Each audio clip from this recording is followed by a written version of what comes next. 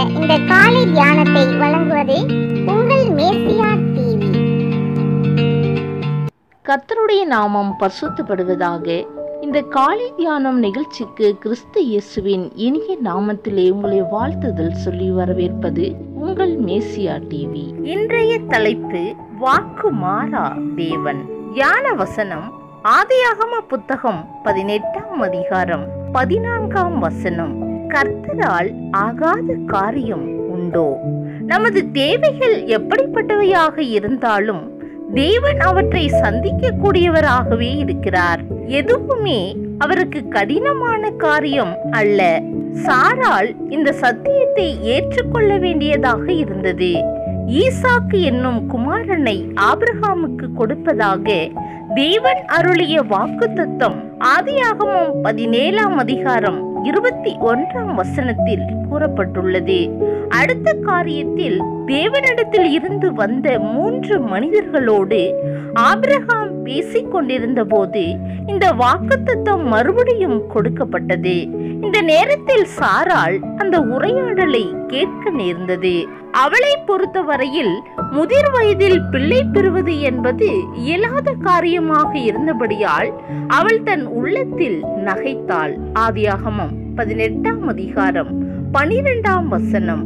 அப்பொழுது கர்த்தர் ஆபிரகாமை நோக்கி சாரால் நகைத்து நான் கிழவையாய் இருக்க பிள்ளை பெறுவது மெய்யோ என்று சொல்வானேன். கர்த்தரால் ஆகாத காரியம் ஒன்று உண்டோ? என்றார் ஆதியாகமம். பதினெட்டாம் அதிகாரம் பதிமூன்று பதினான்கு வசனங்கள். கிறிஸ்தவர்களாகிய நாமும் இதே நிச்சயத்தை பெற்றுள்ளோம். ஆபிரகாமின் தேவன் நமது தேவனாக இருக்கிறார். அவர் சர்வ வல்லவர். அவரே உலகத்தை படைத்தவர். எதுவுமே அவரது வல்லமைக்கு அப்பாற்பட்டதல்ல.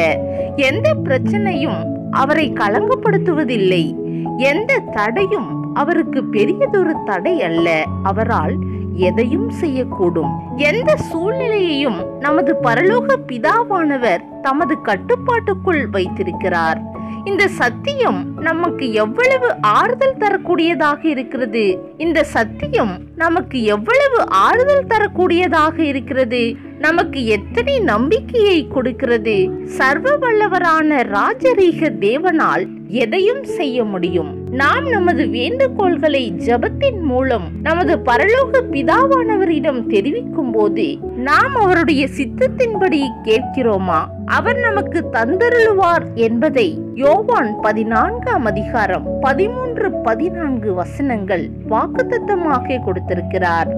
அந்த வாக்குத்தத்தங்களை பற்றி கொண்டு நம் வாழ்வில் வெற்றி பெறுவோமாக. தேவன் இந்த தியான பகுதியை ஆசீர்வதிப்பாராக. இப்பொழுதும் நாம் முடிவு செவத்துக்குள்ளாய் கடந்து செல்வோம். இரக்கத்தில் ஐஸ்வர்யம் உள்ள பரலோக பிதாவே உம்முடைய நிகரற்ற நாமத்திற்கு நன்றி செலுத்துகிறோம். உம்மால் நாங்கள் ஒரு சேனைக்குள் பாய்வோம் மதிலை தாண்டுவோம். கிறிஸ்து இயேசுவின் விலையேற பெற்ற நாமத்தில் செபிக்கிறோம் நல்ல பிதாவே ஆமேன். மீண்டும் நாளை காலை தியான பகுதியில் சந்திப்போம். நன்றி.